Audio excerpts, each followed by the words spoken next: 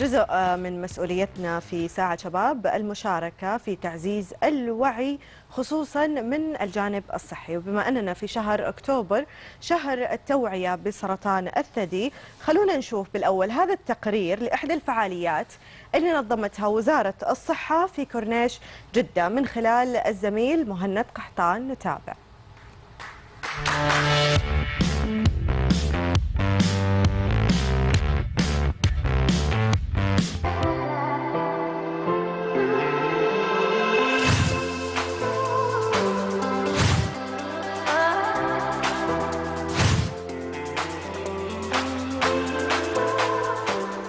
هذا في شهر أكتوبر ويحتفى به في جميع أنحاء العالم للتوعية للوقاية من سرطان الثدي.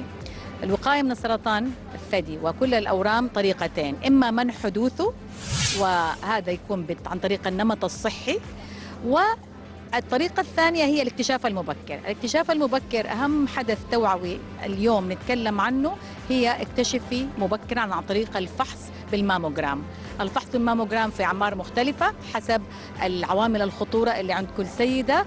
20% من السيدات معرضين لخطر الإصابة بسرطان الثدي. هدفنا اليوم نرفع الوعي. افحصيه حتى لا تفقديه.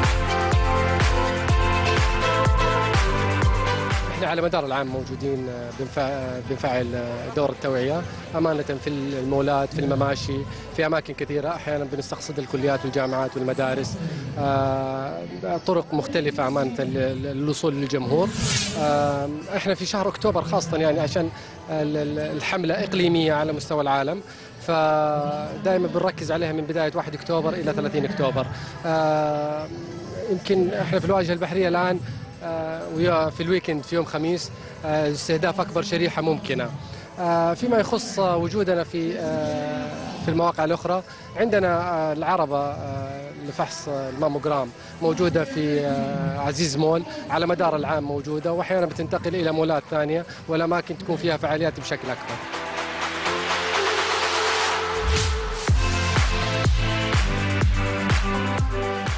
إحنا مشاركتنا مشاركة مهمة جدا.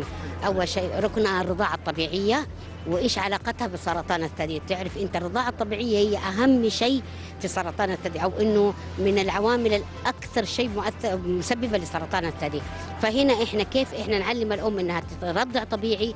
كيف إن من أول لحظة من يوم ما تولد طفلها كيف يتم التعلق الصحيح؟ لأن بعض الأمهات إنه ما تقدر تمسك طفلها زي الناس إنه طفلها ما بيرضع مظبوط وبكذا ما بيتكون الحليب.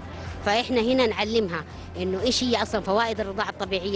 سواء للأم سواء للطفل سواء لسرطان الثدي وإيش يكون وقايتها إن شاء الله بحول الله تعالى من سرطان الثدي.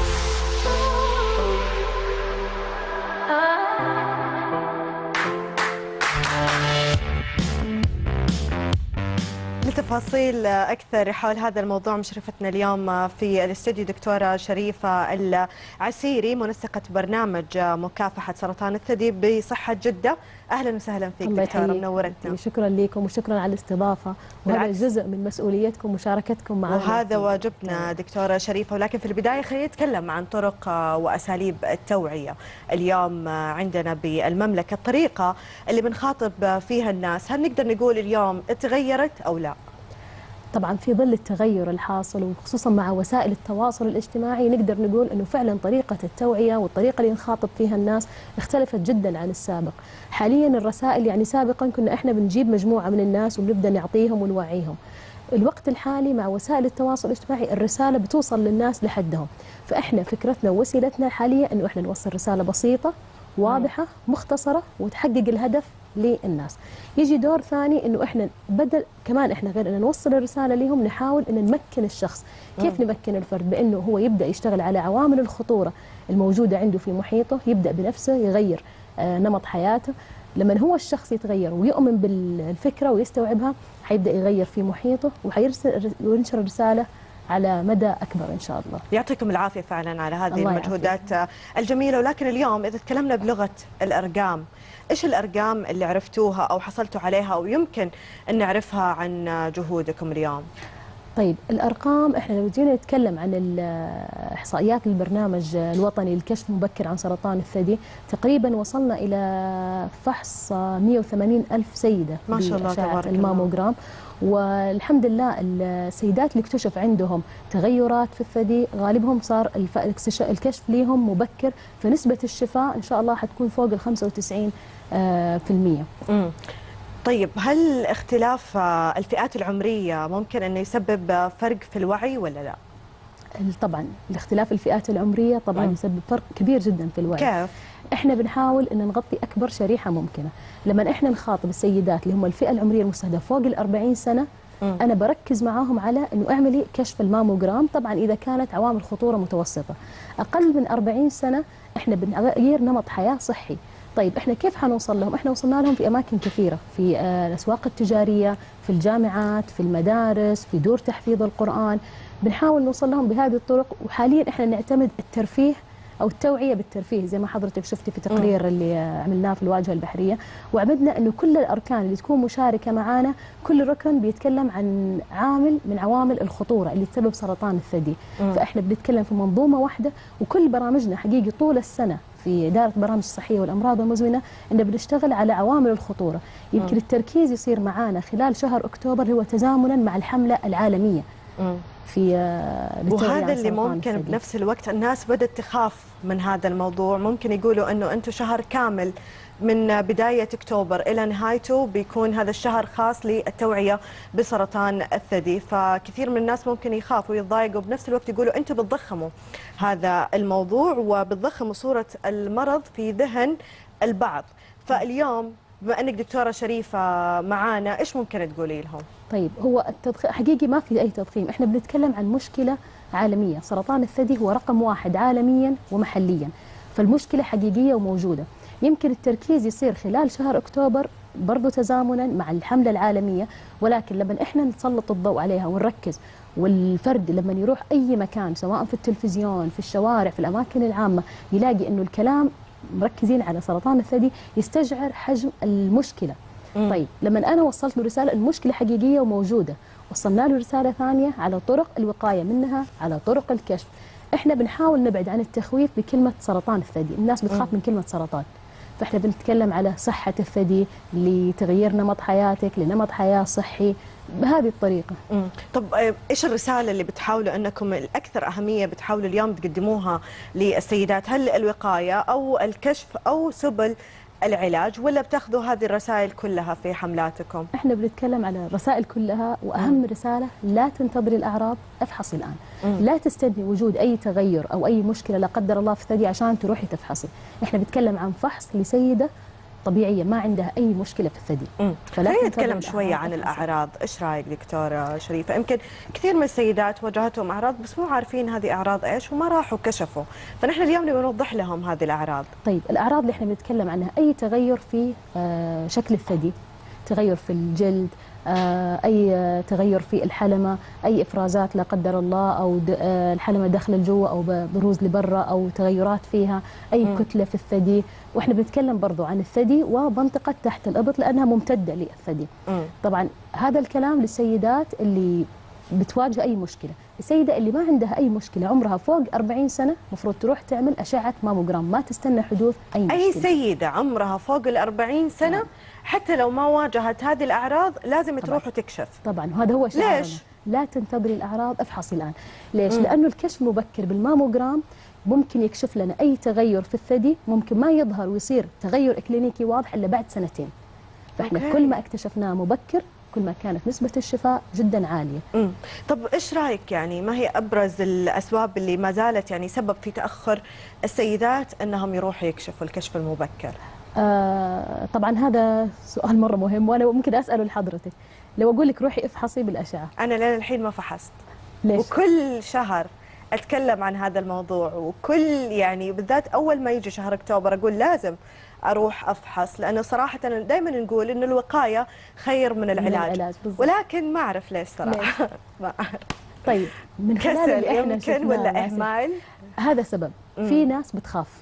طب لو أنا رحت فحصت وصار لا قدر الله مشكلة. صح الخوف كمان ممكن أيوة. يكون سبب هذا صحيح. سبب جدا جدا رئيسي. صح. ونلاقيه حتى في ناس بيكونوا هم أساسا من آه، يعني ممارسين صحيين الخوف مم. موجود في طبيعة النفس البشرية بس لما أنا ألاقي إنه لا هذه مفاهيم خاطئة إحنا بنحاول نصححها بنحاول نبين المسار بعد ذلك لما انت. تفحصي صار لا قدر الله كذا مو معناها أي تغير معناها سرطان مم. ولو صار أي تغير حتمشي في المسار الفلاني حتروحي بعدها للخطوه الثانية والخطوة الثالثة ونسبة الشفاء جدا عالية إحنا بنستضيف ناس من الناس اللي نعتبرهم محاربين للسرطان وشفيوا منه وبيتكلموا عن تجاربهم مع السيدات وبيعطوهم نصائح وتوجيهات بدءا من الوقاية كيف أنت من البداية بتتجنبي أنه لا قدر الله يصير أي مشكلة؟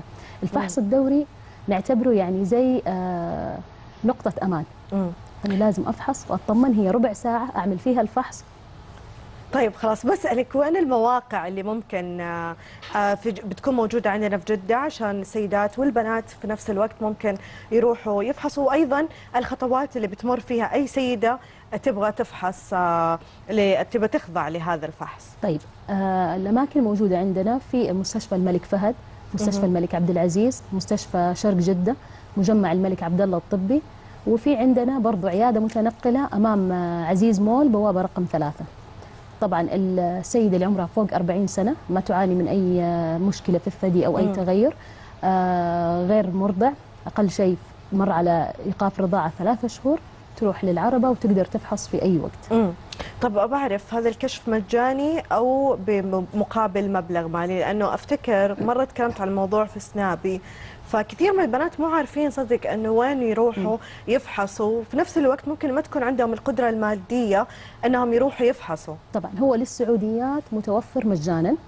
حلو. آه بالنسبة للعربة إحنا بنتكلم على أيام دوام طوال أيام الأسبوع من الساعة الرابعة عصرا إلى العاشرة مساء للسيدات الغير سعوديات يقدروا يتوجهوا لأماكن كثيرة في القطاع الخاص خصوصا في شهر أكتوبر عاملين عروض. في أغلب الأماكن عاملينها مجانا. في عندنا مركز آه، الشيخ العمودي في الجامعة بيستقبلوا طول السنة للسعودي والغير سعوديين والفحص لهم مجاني.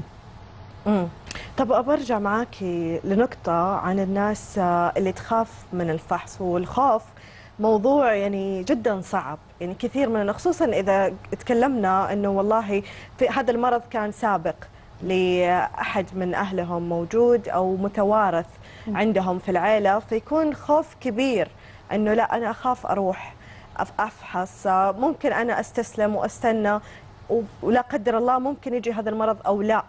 فنحن هنا كيف ممكن نبسط لهم أكثر هذا الموضوع؟ طيب أول حاجة إن إحنا نبدأ نبسط لهم كيف الموضوع إنه أنا. أعرف أنا في أي فئة أنا في الفئة عالية الخطورة ولا في الفئة المتوسطة الخطورة مم. الفئات عالية الخطورة اللي زي ما تفضلتي وقلتي إنه يكون عندهم تاريخ مرضي في العائلة مم. أو تعرضت لعلاج إشعاعي إحنا بنتكلم عن فئة عمرية أقل من 40 سنة طيب مم. في هذه الحالة هي يفضل توجه إلى العيادة تشوفها الطبيبة تقيم عوامل الخطورة اللي هي تعرضت لها وبعدها يحدد إيش الفحص المناسب لها في العمر الأعمار الصغيرة غالبا نحتاج الأشعة الأشعة الصوتية مش أشعة الماموجرام مم. اللي عندهم تاريخ مرضي في العائلة أيضا يعني ال- الطب تقدم عن قبل فحاليا صح. في عندنا اللي هو فحص الجينات اللي ممكن برضه يساعد في اكتشاف مبكر ويمكن ظهر عندنا رموز كبيرة في. من المشاهير اللي تعرضوا لسرطان الثدي وصارت توصل من خلالهم رسائل يمكن تسهل على الناس وتخليها لا تؤمن إنه لا في علاج وفي حلول ممكن تساعدني. بدل ما أنا أستنى تظهر عندي الأعراض ويوصل لمراحل لا قدر الله متقدمة. وبالنهاية مثل ما دائما تقولوا أنه دائما الكشف المبكر يساعدكم على علاج طبعاً. هذا المرض وممكن تشفوا منه بإذن الله في النهاية. وكثير من المحاربات اللي شفناهم في هذا الشهر وفي كل السنين آه، تعرضوا لهذا المرض ولكن بفضل من الله وبالكشف المبكر والعلاج قدروا إنهم يتخلصوا منه بالنهاية. شكرا لكم دكتورة شريفة. وشكرا على مجهوداتكم. فعلا يعطيكم ألف عافية ونحن نتمنى لكم كل. التوفيق. شكرا, لك. حبيبتي العفو. مشاهدينا بكذا وصلنا لختام حلقتنا اليوم. إن شاء الله أشوفكم بكرة في حلقة جديدة وأقول لكم فمان الله.